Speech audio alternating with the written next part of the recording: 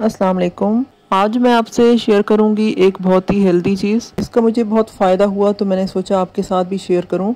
मेरे घुटने में बहुत दर्द रहता था और कमर में भी मसला था तो मुझे किसी ने बताया कि इस तरह से खजूर के अंदर अगर आप सफ़ेद तिल भर के डेली यूज़ करें तो डेली एक खजूर यूज़ करें तो इसका बहुत पॉजिटिव रिज़ल्ट मिलेगा। तो मैंने इस्तेमाल किया और मुझे फ़ायदा हुआ तो मैंने सोचा क्यों ना आपके साथ भी शेयर करूँ।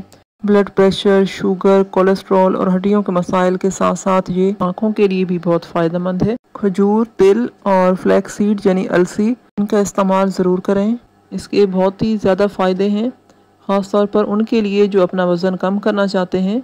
तो आप कोई भी चीज़ आप खा रहे हैं फ्रूट है, सैलड है या समूदी वगैरह तो आप उसके ऊपर इसको ग्राइंड करके डाल सकते हैं। कोई ख़ास तरीका कार नहीं है, जस्ट आप इसको कूट लें या ग्राइंड कर लें और एक चम्मच डेली आप इसका यूज़ करें। इसकी तासीर गर्म होती है, इसलिए एक दिन में एक चम्मच से ज़्यादा का इस्तेमाल नहीं करना। मज़ीद कोई बात पूछनी हो तो कमेंट्स में ज़रूर पूछिएगा, आपको ज़रूर जवाब देंगे। अपना ख्याल रखिएगा, अल्लाह हाफिज़।